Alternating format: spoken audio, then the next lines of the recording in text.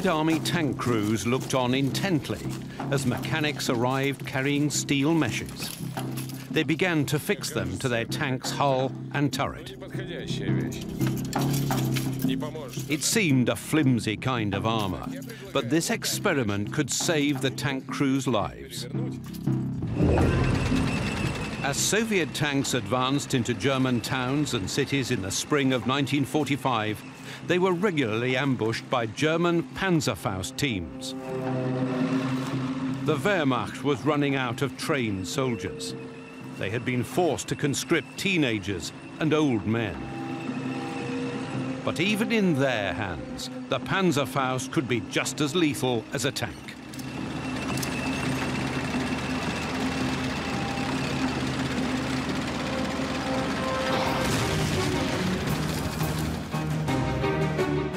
Commander of a Soviet Guards tank regiment described the aftermath.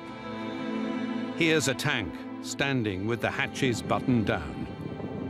There's a small hole burnt through the turret just wide enough to put your little finger in. This is a Panzerfaust's work.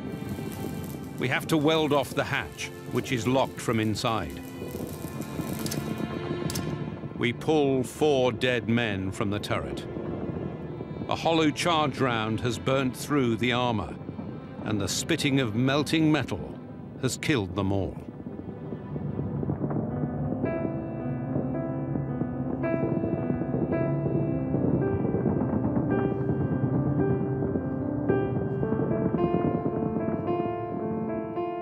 Engineers believed steel meshes could protect Soviet tanks by causing the Panzerfaust warhead to explode before it reached the tank's armor.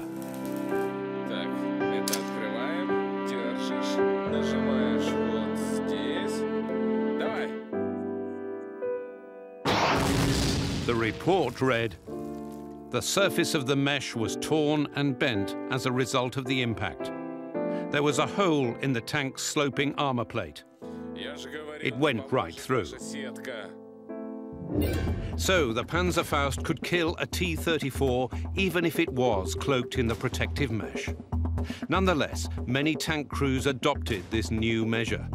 In this bitter fighting, they were willing to try anything that gave them an added chance of survival. On the 31st of January 1945, tanks of the 1st Belarusian Front reached the Oder River near Kustrin and Frankfurt an der Oder. They crossed without waiting for the infantry to catch up. They had advanced 400 kilometers across Poland. 35 destroyed enemy divisions and hundreds of thousands of prisoners lay in their wake. They were now just 100 kilometers from Berlin, the lair of the Nazi beast. But now, the Stavka Soviet High Command ordered a halt. The frontline troops needed resupply and rest before they were ready to begin the final assault. In March 1945, Pomerania to the north and Silesia to the south were cleared of German troops. The flanks were secure for the drive on Berlin the Germans attempted a counterattack at Kustrin, but it ended in complete failure. In the process, some of the last armoured forces available for the defence of Berlin were destroyed.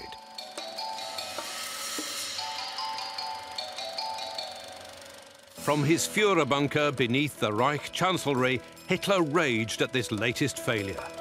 He was particularly scathing of the commander of the Ninth Army, Theodor Busse.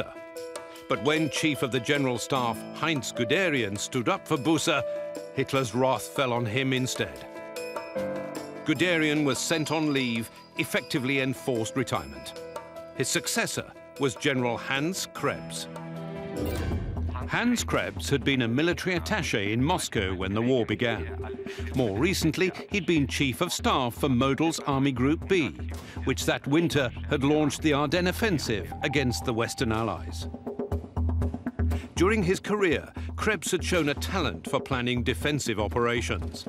Now, Hitler expected a miracle from him in Berlin. As Guderian packed his bags, an old acquaintance of his was preparing for the final push on Berlin. He was the Soviet general Semyon Krivoshein. The two men had met in September 1939 in Poland during the Nazi-Soviet carve-up of the country. Semyon Moiseyevich Krivoshein began his military career in 1918 with the cavalry. In 1939, as part of the Nazi-Soviet partition of Poland, his brigade occupied Brest in modern Belarus. This was when Krivoshein met Guderian, the German general responsible for handing over control of the city to the Soviets. In 1945, Krivoshein commanded the 1st Mechanized Corps. It was the only unit of the 1st Belarusian Front to be completely equipped with American Sherman tanks. 1st Mechanized Corps was on the eastern bank of the Oder River, but every night its soldiers crossed the river to help dig emplacements for guns and tanks. On the night of the 15th of April, the Corps crossed the Oder to take up these prepared positions. As Hitler ranted and raved at his generals, commander of the 1st Belarusian Front, Marshal Zhukov, was summoned to Moscow. He and Stalin were to discuss details of the final assault on Berlin. Zhukov had prepared two plans for the offensive on the German capital. Plan A envisaged a thrust from the Kustrin bridgehead. Plan B from the bridgehead near Frankfurt. The Germans would be kept guessing as to which was the real line of advance, forcing them to disperse their troops. But bad news awaited Zhukov in the Kremlin. In his memoirs, he described a late-night meeting with Stalin. He was told, the German front in the west has completely collapsed. The Germans don't seem to be willing to take any measures to stop the advance of the Western Allies. British and American troops had crossed the Rhine. They had destroyed German Army Group B on the Ruhr their armoured divisions were advancing rapidly towards Berlin. Although the Allies had agreed at Yalta that Berlin would be in the Soviet zone of occupation, the Western Allies hadn't ruled out entering the city before the Red Army. Winston Churchill had expressed his opinion to the American president. Russian armies will no doubt enter Vienna. If they also take Berlin, Will not their impression that they have been the overwhelming contributor to our common victory be unduly imprinted in their minds? I therefore consider that should Berlin be in our grasp, we should certainly take it. Zhukov understood.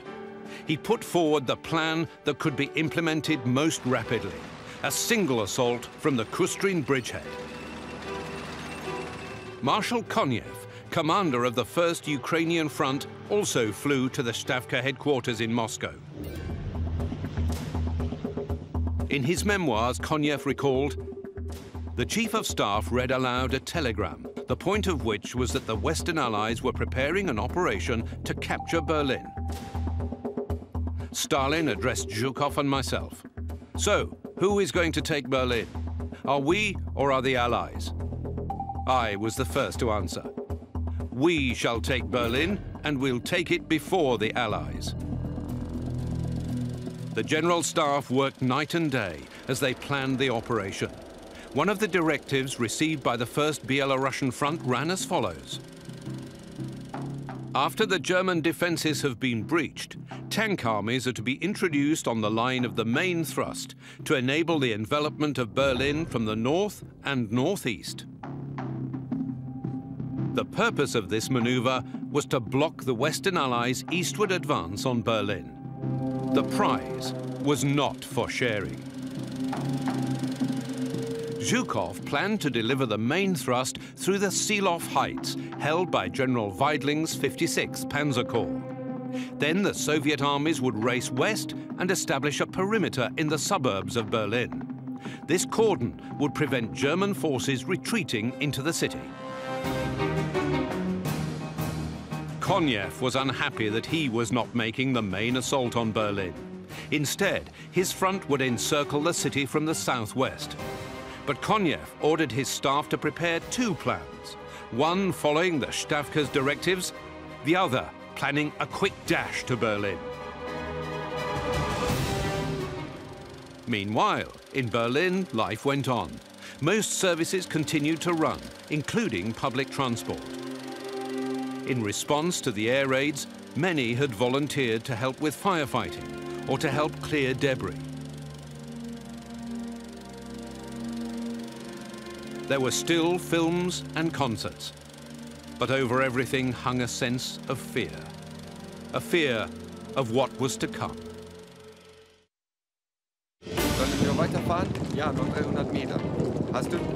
Berlin bore the unmistakable scars of war. Cratered streets and scorched, ruined buildings. Now Berliners helped to build barricades as the city prepared to defend itself. Berlin's barricades were made of wood, stone and rails. They could be up to 2.5 meters high and 4 meters thick. They made many streets completely impassable, and the approaches to them were mined.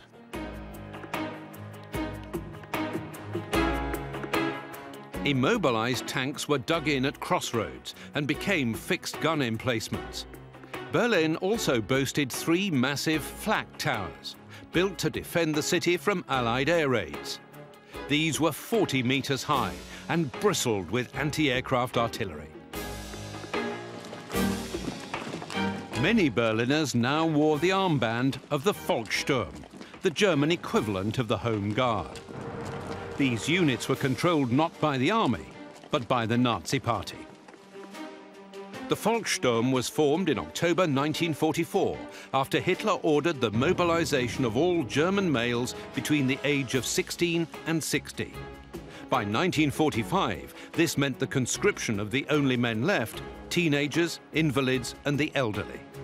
The Nazis hoped to create a fanatical people's militia, but most had little stomach for a one-sided fight with the Red Army. There were very few weapons available for these units. Some received Italian or Dutch rifles with just a few cartridges. But there were plenty of Panzerfausts. The Panzerfaust was a one-shot disposable launcher that fired a hollow charge anti-tank warhead. It was very cheap and easy to make. The Germans produced more than six million of them between 1943 and the end of the war. The most common version, the Panzerfaust 60, had an effective tank killing range of 60 meters. Its warhead traveled at 45 meters per second and was able to penetrate 200 millimeters of armor. This was very bad news for Soviet tank crews. The front armor of a T-34 medium tank was just 45 millimeters, and of an IS-2 heavy tank, 120 millimeters. Standing between Zhukov and the capital of the Third Reich were four German armies. They consisted of nearly a million soldiers, more than a thousand armored vehicles, and almost 10,000 guns and mortars. More than 200 Volkssturm battalions were formed into the Berlin Army Command Reserve. The Berlin garrison itself totaled more than 200,000 men. Busse was extremely cynical about their prospects. We will consider our task fulfilled, he wrote, if American tanks strike us in our back. The German General Staff believed the fate of Berlin would be decided on the Seelow Heights. Therefore, most troops were committed to the front rather than held back inside the city. On the 15th of April, a proclamation from the Fuhrer was read out to the troops. Berlin will remain German. Vienna will remain German. And Europe will never be Russian. Form a single community to defend not the empty word fatherland, but your families, your wives, your children, and hence your own future. The slogan, Berlin will remain German, appeared, daubed on walls around the city. many still believed that somehow the city could be saved.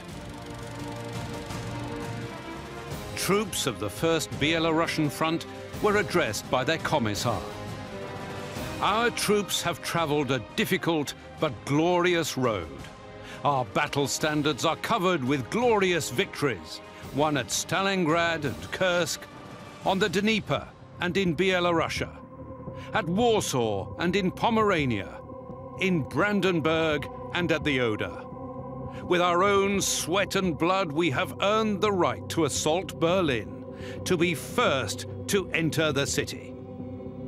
To Berlin! At 3 a.m. on the 16th of April 1945, more than 7,000 guns, mortars and Katyusha rocket launchers began an earth-shaking bombardment of the German line. It was one of the greatest concentrations of firepower ever seen.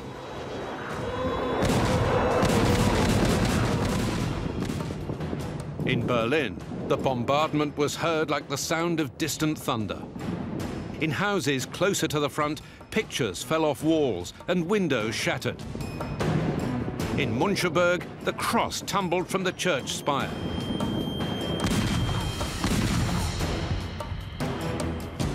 Amongst the guns were six massive 280mm mortars from the 34th Independent Battalion of Heavy Artillery.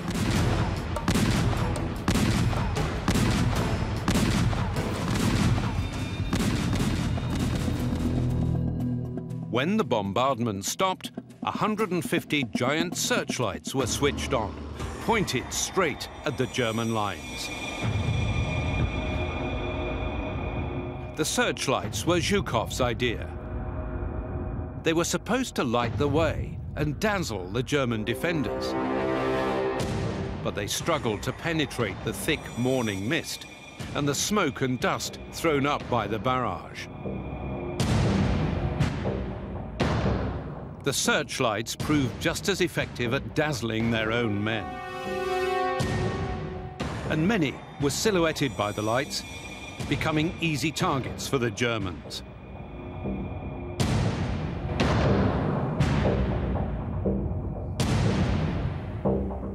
The Germans had known the initial bombardment would be massive. So most of their troops had already been withdrawn to the second line.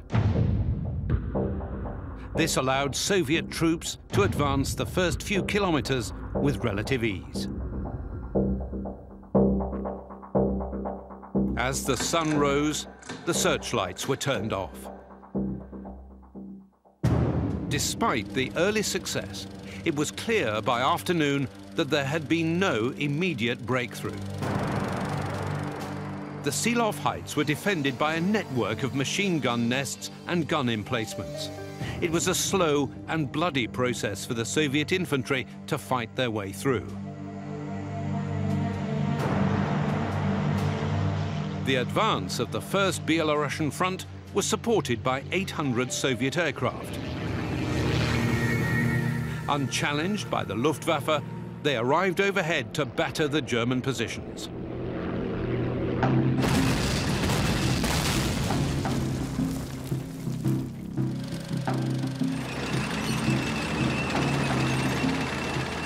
By 1 p.m., Zhukov explained, I clearly understood that the enemy's defensive fire system was intact.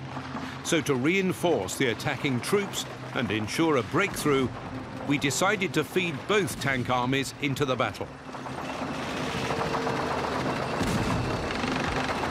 His decision created huge traffic jams on the approaches to the Seelow Heights. Tanks, artillery tractors and supply trucks all struggled to get forward. By committing his tank armies to the battle, Zhukov had altered the plan that he'd agreed with the Stavka. It showed desperation, and Stalin was not happy. He rang Zhukov to reprimand him for this unauthorized use of the tank reserve, and he demanded to know when the breakthrough would be made. Zhukov tried to remain calm.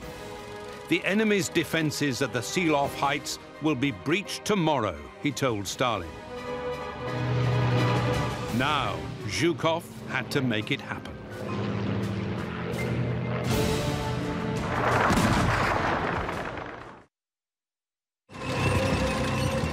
Zhukov's advance, led by Chuikov's 8th Guards Army and Katukov's 1st Guards Tank Army, was faltering on the Seelow Heights.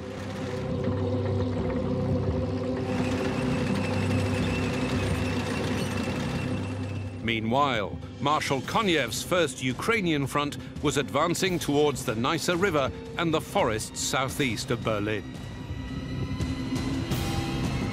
The Germans had no forces here able to withstand his assault.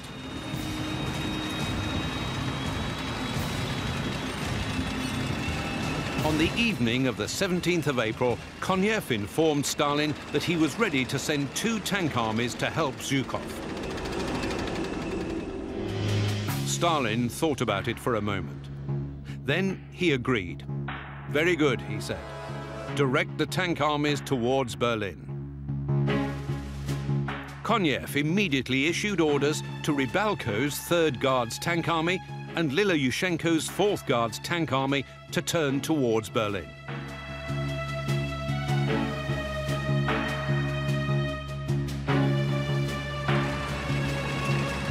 At the Neisse River, Rybalko's troops found a ford, no more than a metre deep. Rather than wait for bridging equipment, his tank crews made their vehicles watertight and drove straight across.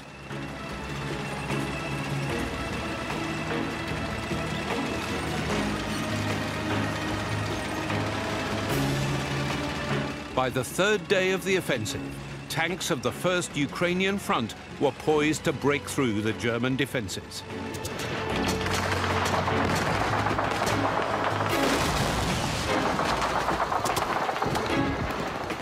At the same moment, Zhukov's troops were at last about to break through German positions on the Seelow Heights. General Krivoshein's motorized infantry had managed to capture an intact bridge at the town of Platkow. Now his first mechanized corps was advancing unchecked. Behind them rolled the T-34s of Bogdanov's 2nd Guards Tank Army. On the 20th of April, wrote General Weidling, commanding the German defence, our units, having suffered huge losses and exhausted to extremity, could no longer withstand the pressure of the Russian assault. Weidling's corps was outflanked on both sides. That evening, Zhukov entrusted General Semen Bogdanov with a historic mission to lead his second Guards Tank Army into Berlin and to become the first Soviet troops to enter the enemy capital. The next day, Krivoshein's 1st Mechanized Corps, part of the 2nd Guards Tank Army, reached the Berlin suburb of Weissensee and fulfilled the mission. For this, Krivoshein received his nation's highest award, the title Hero of the Soviet Union. The main force of the 1st Belarusian Front was now sweeping around Weidling's shattered corps and arriving en masse at the outskirts of Berlin. Konev's dream of conquering Berlin had been thwarted. Forests and lakes, minefields and pillboxes had slowed his advance. There was hard fighting around Zossen, from where the Wehrmacht High Command had recently fled but his advance had trapped 20,000 men of the German 9th and 4th Panzer Army in the forests south of Berlin. These men could no longer reach the city to help in its defense. Hitler faced a dilemma. Stay in the capital or flee to his Alpine fortress. He pinned his hopes on the army detachment of SS General Felix Steiner. Hitler telegraphed the general. The primary task before Army Detachment Steiner is to attack from the north. The fate of the capital of the Third Reich depends on how successfully you execute this mission. It was an impossible order that could not be carried out. When Hitler was told this, he flew into a rage, accusing the army of cowardice and treason. It's all over, he at last recognized. The Fuhrer would stay in Berlin, but he clutched at one last straw, General Wenck's 12th Army facing the Americans on the Elbe River. On the 23rd of April, Wenck was ordered to relieve Berlin.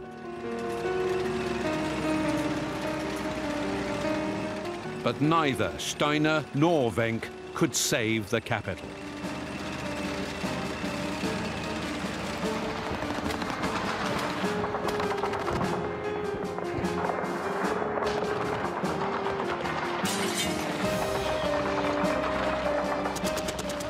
Berlin garrison was formed from a host of shattered army and SS divisions, supplemented by Volkssturm battalions, police and air defense units, about 120,000 men in total.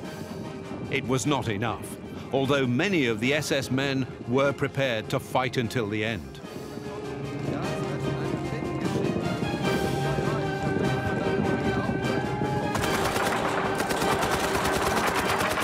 The Soviets outnumbered the Germans by more than four to one. And many Red Army soldiers were now battle-hardened veterans, graduates of the Stalingrad Academy of Street Fighting. Soviet tanks advanced on both sides of the street in a staggered double file. They kept 30 meters behind the infantry and used their main gun to take out defensive strongpoints that were holding up the advance.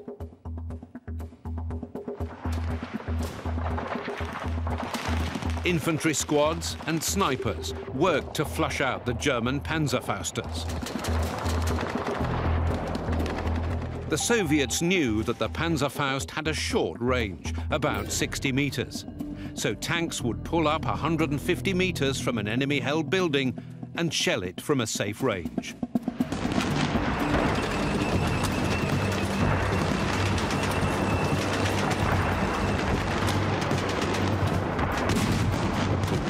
When assault teams captured a building, they used smoke grenades to fill the street with smoke, allowing more troops to move up in safety.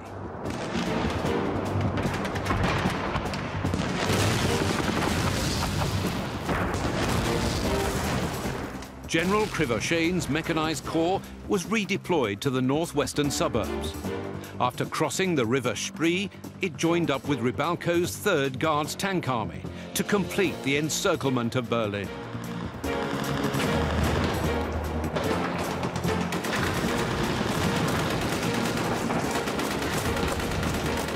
The river Spree curled through the German defences.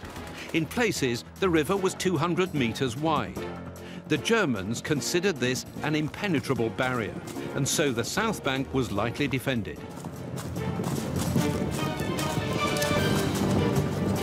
The appearance of Soviet motorboats was therefore an unpleasant surprise for the Germans.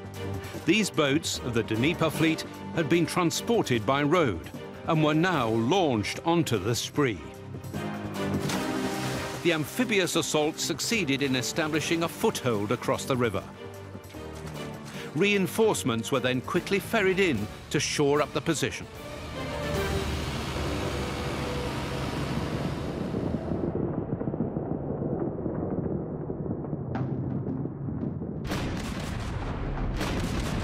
This sudden advance, where it was least expected, threw the German defensive plan into chaos. Several blocks were given up without a fight as units raced back to avoid being cut off. The Red Army troops were all aiming for one spot, the Reichstag building. The Reichstag building was completed in 1894. In the interwar period of the Weimar Republic, it was where the lower chamber of the German parliament met. In 1933, shortly after Hitler came to power, it caught fire in suspicious circumstances. Hitler accused the communists of starting the fire as part of a plot against the government. The next day, the Reichstag fire decree gave the Nazi party emergency powers to deal with its political opponents. In effect, it was the death of democracy in Germany. The Reichstag building no longer had a purpose. The centre of government was now located somewhere else entirely, inside the Führerbunker, 25 feet beneath the garden of the old Reich Chancellery. The bunker had been built during the war in complete secrecy. By April 1945, it had become Adolf Hitler's permanent residence and the site of his military headquarters. According to those who experienced life inside the bunker, the place smelled of wet cement and there was a constant drone from the ventilation system. It was claustrophobic, but impervious to bombs and shells. The Red Army didn't know about the Führerbunker, even as their tanks fired onto the Reich Chancellery itself.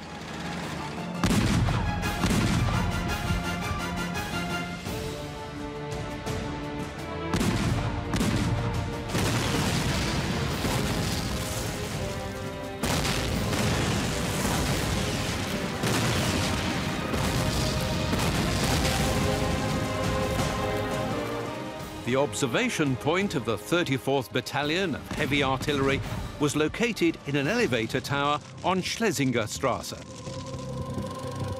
They couldn't see the Reichstag, only flames and smoke. On the 27th of April, their unit was ordered forward. As the artillery spotters looked for a new vantage point, their telephone rang. A voice demanded to speak to the senior officer. Sergeant Pavel Larin, commander of the scout section, was given the phone. 18th orders you to fire on target 21, said the voice. Target 21 was the Reichstag building. Sergeant Larin acknowledged the order. His battery hadn't fired on the Reichstag before, and Larin knew that there were Red Army troops just 300 meters from it firing from a range of three miles, the smallest mistake in their calculations could end up killing their own comrades. Larin also knew that any delay in the fire mission would not be forgiven.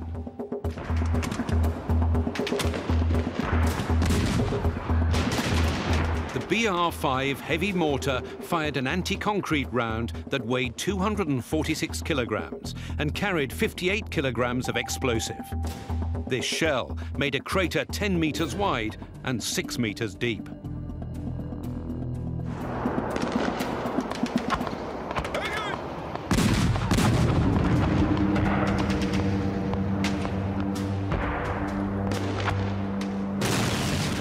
The battery fired 42 shells, one after another.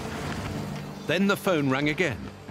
At the other end of the line, they were shouting to cease fire they'd been hitting their own positions. The new order was to fire on target 20. Target 20 was the Reich Chancellery. The battery fired 18 rounds.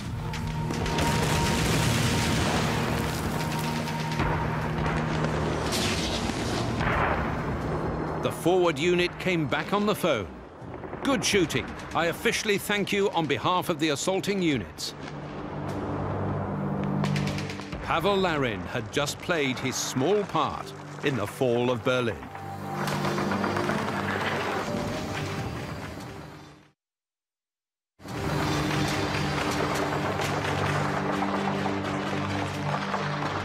The Soviet Third Shock Army was leading the race to the Reichstag.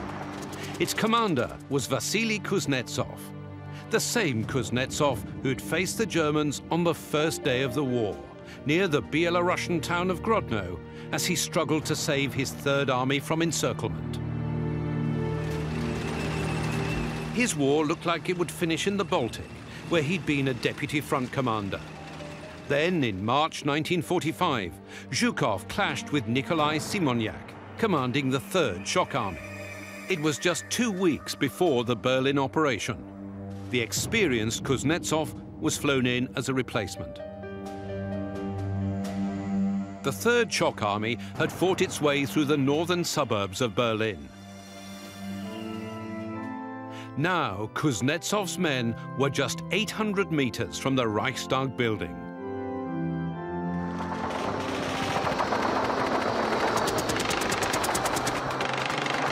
The first attempt on the Reichstag took place on the 29th of April. But the attacking troops were fired on from the rear by Germans in the Kroll Opera House. So first, the Opera House had to be cleared. Soviet infantry attacked again at 11.30 a.m. on the 30th of April. They were supported by artillery fire falling directly onto the Reichstag building.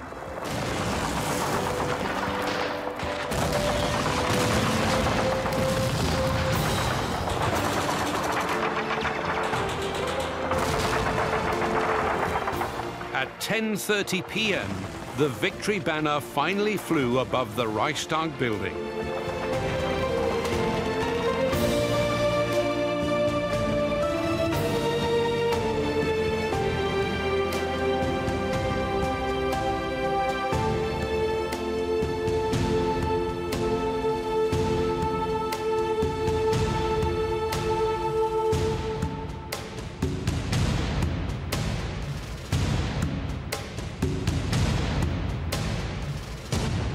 Previous morning, Hitler had spoken with Major General Mohnke, commanding the defense of the Berlin central sector.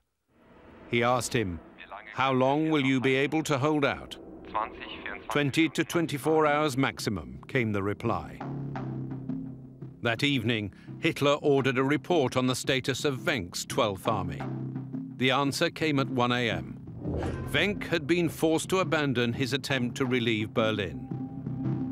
14 hours later, Hitler shot himself. His body was carried to a shell hole outside the entrance to the Führerbunker, covered in petrol and burned. Under a white flag, a delegation led by Chief of the General Staff Hans Krebs approached the Soviet lines. They were taken to see General Chuikov at 8th Guards Army headquarters. Krebs informed Chuikov of Hitler's death and the formation of a new German government under Grand Admiral Dönitz. But Chuikov refused to negotiate. His demands were simple and to the point. He wanted the immediate and unconditional surrender of the Berlin garrison. The Germans refused. The fighting went on.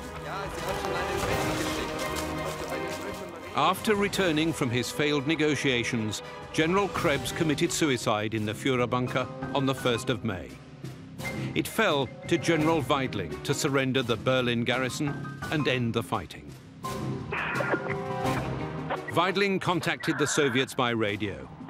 Please cease fire. We will send truce envoys to the Potsdam Bridge at 12.50 p.m. Berlin time. The arrangements of the surrender were agreed at these brief negotiations.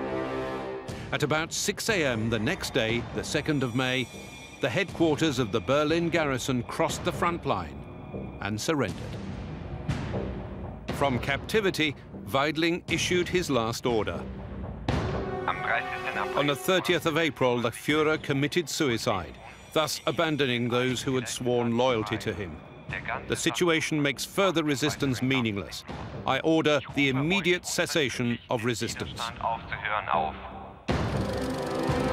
This order was relayed through loudspeakers. The Germans began to put down their weapons. The Battle of Berlin was one of the largest battles in history. About three and a half million men fought on both sides.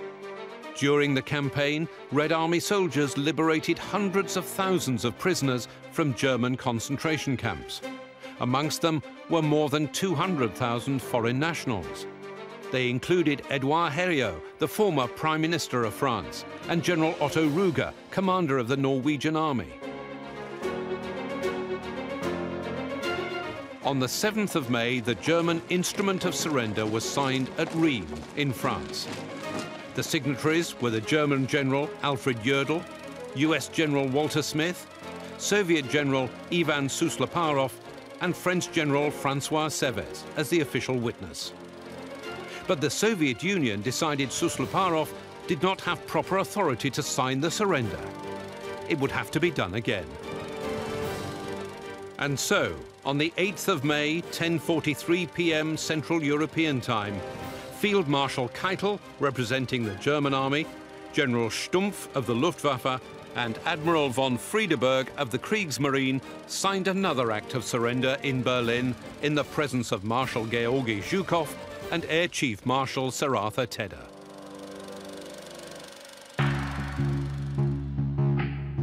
On the 9th of May, the Red Army entered Prague. On the 10th of May, the Red Army occupied the Hel Peninsula in the Danzig Bay. And on the 11th of May, German Army Group Courland finally surrendered.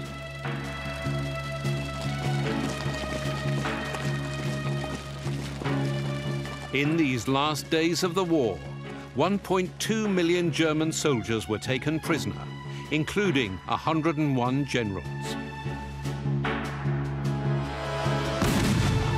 On the 24th of June, a victory parade was held in Moscow's Red Square.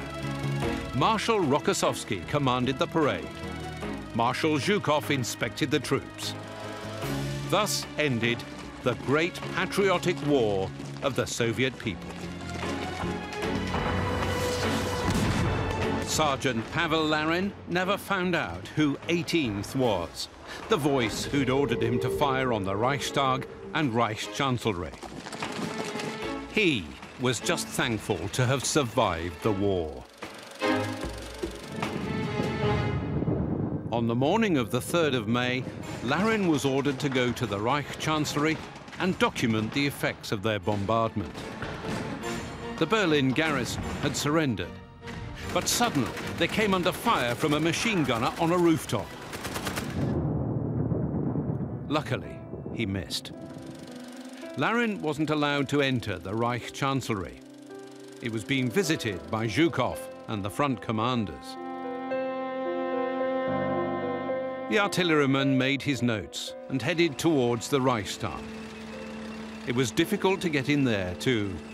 The building was crowded with thousands of soldiers celebrating their victory.